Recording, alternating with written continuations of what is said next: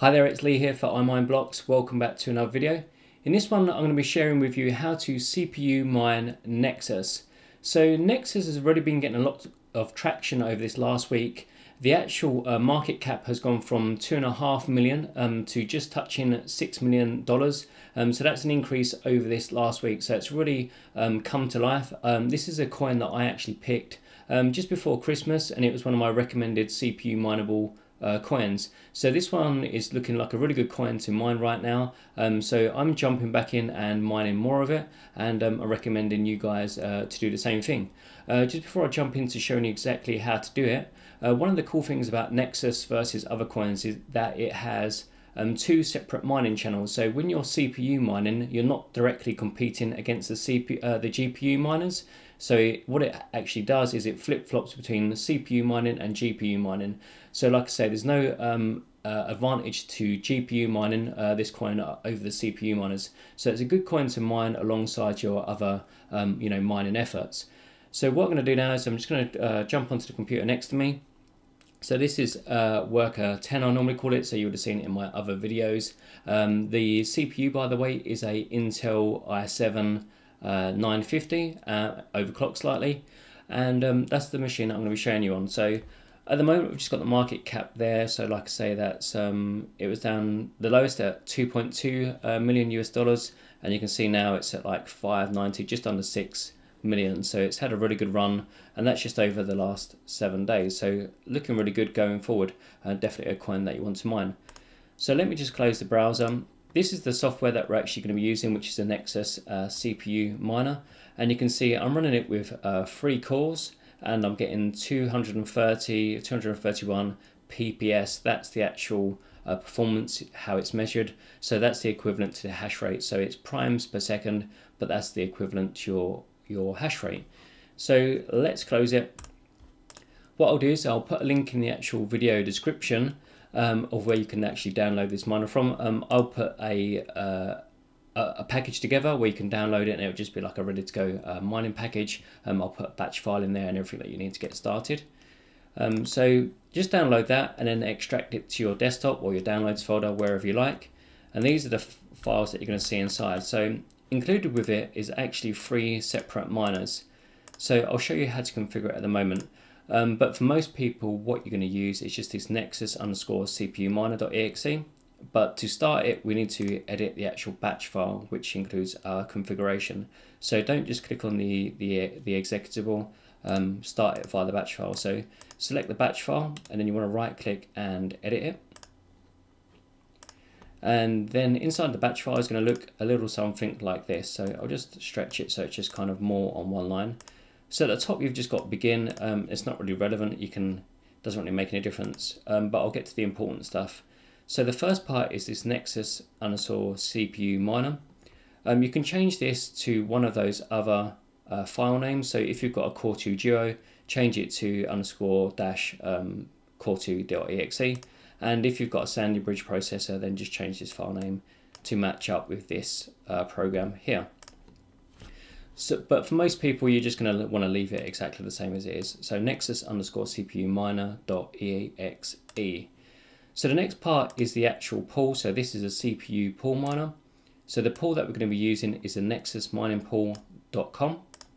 And then we've got the port number. That is the correct port number. So so this first part you can basically leave all the same as it is. It's going to be the same pretty much for most people. The part that you want to change for yourself is this part here. So this is actually your Nexus wallet address. So to get this, all you need to do is open up your Nexus wallet. If you go to receive, and then you can just create a new address. Just give it a label, demo, and then we're just going to copy that address We can minimize the wallet now. And then we're just going to paste that address in to here. So this is our new wallet address. And then the last part is a space, and then we've got free. So the free is a number of the mining uh, cores that we're going to be using. So I prefer to use it uh, one less core than the processor actually has. So on a four core processor, um, I use three cores. If you've got like, you know, a Hexa uh, six core processor and you want to use five cores, or if you've just got a dual core processor, you may only want to use one core. So this is something that you can sort of um, test with and just see which you get the best results with. Um, so then I'm just going to save that. In this case, I'll just save it as. If you do use the save as option, uh, put the file name as demo.bat, uh, but where you've got the actual save as type, make sure you change it from text documents to all files, otherwise it will just get saved as a text file and you won't be able to run the batch file. Uh, so we're just going to save that. We can close the notepad now. And you can see here, here's the batch file that we have just uh, created. So I'm just going to double click and we shall run that now. So you can see it's got our address in there, connected to the mining pool, three threads, there's a timeout of 10 seconds. Then it says generating primes.